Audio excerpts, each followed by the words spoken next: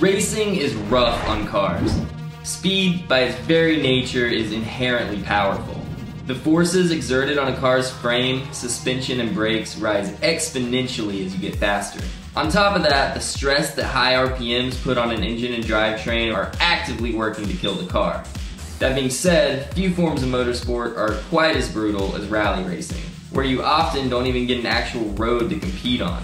Rally cars are forced to look at a different set of challenges than your typical race car. They have to sacrifice big, powerful engines to be as light as possible. They have to be able to survive dirt and gravel and ice. But the biggest challenge the engineers have to face are the politics of the sport and a simple rule that allows only street legal production cars to participate, which is no problem for the big companies like Audi and Ferrari.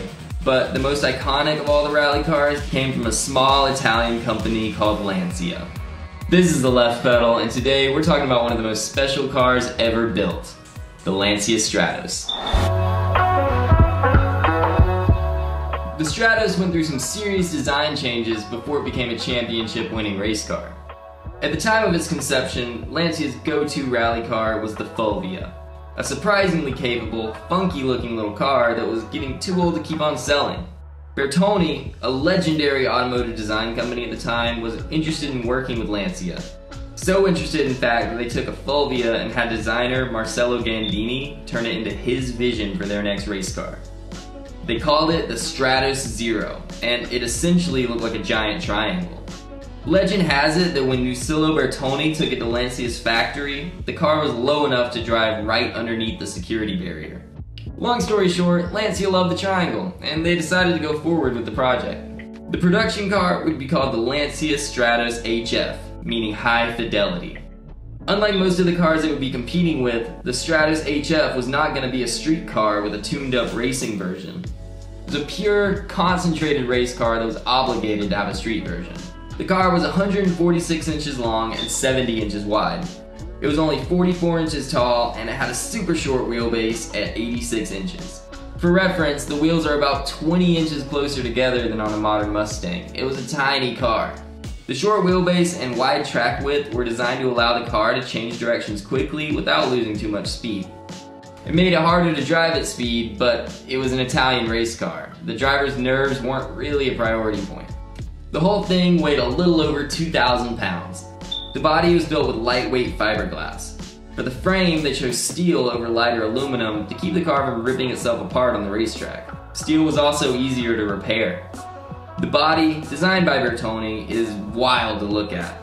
Every single line on the car is aggressive in its own quirky, unique, very 70s way. The Stratos was powered by a 2.4 liter Dino V6 from Ferrari. It was a desirable engine. Beyond the fact that it was developed by Ferrari, it was incredibly compact and packed a punch for its size. Getting the Dino engine was no easy task.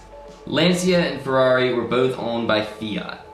The Stratos' sole and only purpose for existing was to win rally races. That's it, no concessions. Most Fiat executives at the time didn't see profitability in a limited production race car. On top of that, they didn't want this little company competing with their golden brand, Ferrari. So they shot the idea down. Very dedicated people working on the Stratos kept fighting for it, but they couldn't get the higher-ups to budge. As a final play, Lancia went straight to Fiat's direct competitor, Citroën, and asked if they could use an engine from Maserati, to which they got a resounding yes. This was an absolute winning move for Lancia. If this car was really going to win races, Fiat wasn't going to let it happen with their competitors' engines. They reluctantly let Lancia have the Dino engine, and the results would turn out to be well worth it.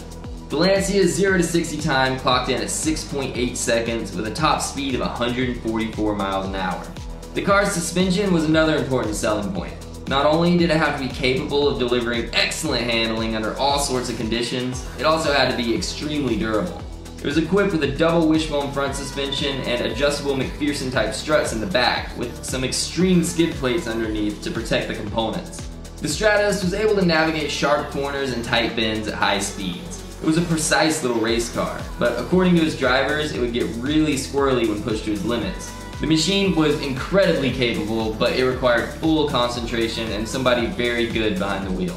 For such a purpose-built machine, it was gifted with an awesome interior absolutely tiny, but still quite high quality and very Italian. According to the rules of the World Rally Championship, Lancia needed to build at least 500 of the cars to compete. As you might imagine, building 500 cars is pretty expensive and pretty time consuming, and also no one knows if they actually did it. Legend has it that when the inspector showed up, Lancia had about half the necessary cars in their front parking lot. They had the inspector do his thing, and after he finished counting those, they did him a favor and took him out to lunch.